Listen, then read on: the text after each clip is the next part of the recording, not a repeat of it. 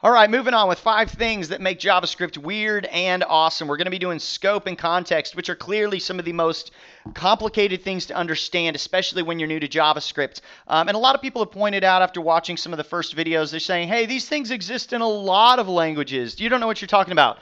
Um, absolutely, they exist. It's the, the unique event driven environment of JavaScript that just means they're going to show up a lot more often as problems and they're going to be a lot more unique sometimes in the way that they show up. That's what I mean by that. Let's get into scope. Uh, and a lot of developers mistakenly think that scope and context um, are the same thing, uh, and they are not. Scope means variable access, variable ah access, uh, which is when a piece of code is running, what variables do I have access to? That's the scope. Context uh, is the value of this. Whenever a piece of code is running, the value of this is the context. And so you can remember that because context has a T and this has a T. So context means this. Uh, scope does not mean this. Uh, it doesn't have a T. so let's get into scope real quick. Um, I'm going to define var a equals 1. And so by default, when you're coding in JavaScript, you're in what's called the root scope, the, the base scope, which is the window object. When I just created var a, it actually made window.a. I can go window.a, and that equals 1. I can also go a, and a equals 1. I can also go window.a is exactly the same as A? Yes, it says true. So I'm on the window object right now, the root scope, and I made a variable called A. Let's make a function here and let's run it right away. So now what I've done is I've created what's called a child scope. Um, I can now create variables b equals 2, and after I run foo, I'm going to try to console.log b, and it's going to say that's undefined because b was created in the scope of this function. It wasn't created in the root scope up here. Uh, let me kind of show you how that works. Uh, we got the parent scope up here, and we've got the child scope in here. And it works just like parents and children when you're talking about cookies. Uh, if I go parent, if I'm a parent and I go out and buy a box of cookies, by default, my child gets access to the cookies because they're in the pantry and they're my child.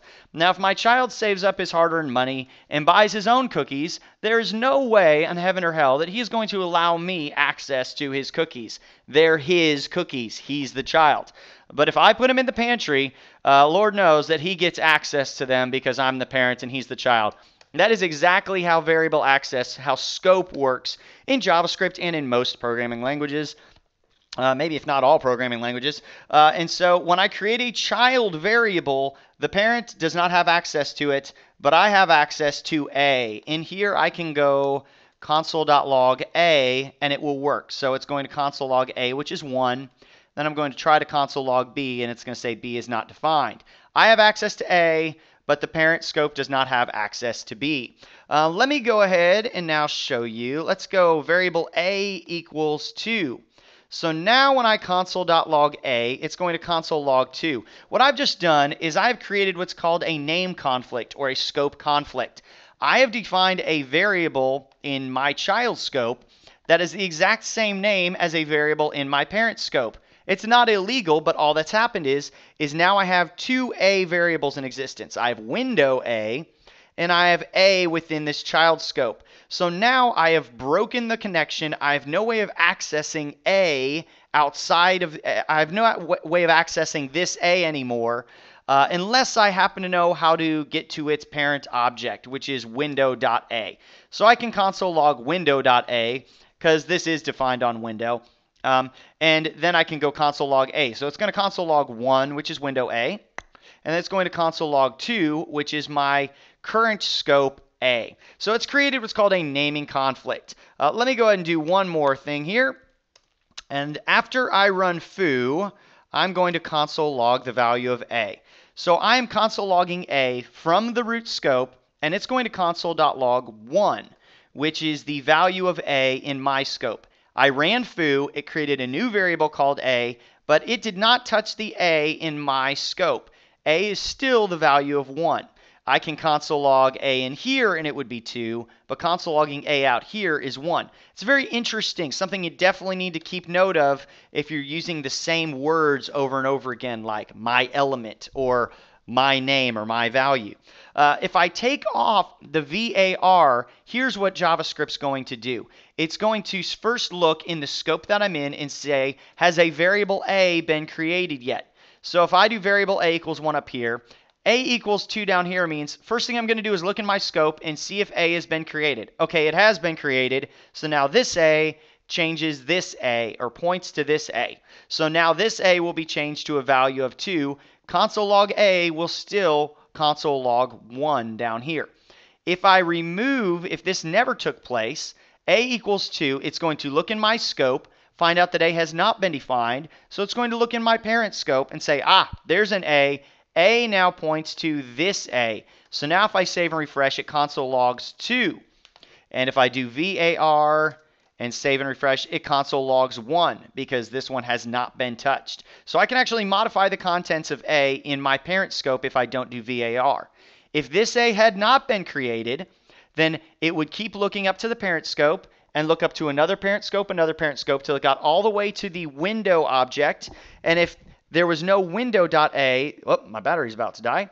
If there was no window A, then it would create it for you right there and give it a value of 2. So now if I console log A a equals 2 and window.a has been created and equals 2. If you hear about polluting the root scope or trying to keep the root scope clean, that's what that means. If you forget to do VAR, you just created a root scope variable that every everything across your application has access to. And you do not want to pollute the root scope. It just creates for a messy application. One way around it, which I will not I will not describe in detail, is if you use the use stricts, then it prevents you from cluttering the root scope. It now says A is not defined because I never did var A on the root scope. Uh, console log A, A does not exist. So you can look up more on what use strict actually does. So that is scoping in JavaScript. That's variable access. I guess I'll just give you one more example, var A equals 1. Function foo says var a equals 2 and console logs a, not console dir, console logs a, and let's make another function. And this will go a equals 3 console log a. So now what I'm going to do, if I run foo and if I run bar, and then I console log a, it's going to run foo. Foo is going to create an a and console log it, so that's going to console log 2. Then if I run bar, A equals 3. It's going to look up in my parent scope. It's going to look in this scope, no A exists. Going to look up in the parent scope, which is my root scope, and it's going to find that A equals 1. It's going to change that to 3, and then it's going to console log A. So this will console log 3, and then we will just run a console log in A, and this will look in the scope that I'm in, find this guy, which has now been changed to 3, Oh my goodness, I feel like I'm even confusing myself. It's going to console log 233. So there you go. That is scope in JavaScript. Let's get into context. The real kicker, the real thing where people blow up their code all the time.